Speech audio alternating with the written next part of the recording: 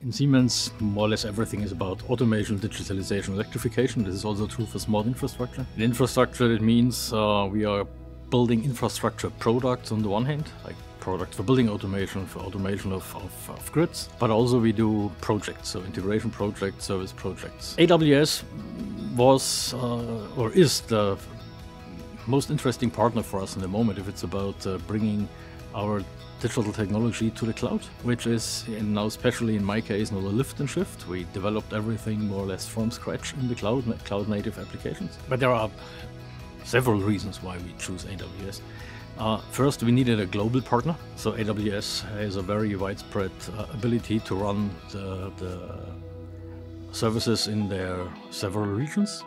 It was the one important thing. The other one was that the services fit very well to our problems, uh, being that, for example, AWS Neptune as a graph database that we needed, or the ability to store a lot of uh, data files in simple S3 buckets. So all those were good reasons to choose AWS.